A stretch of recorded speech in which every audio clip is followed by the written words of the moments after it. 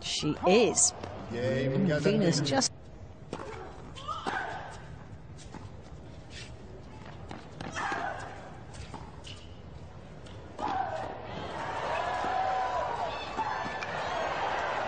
Oh no!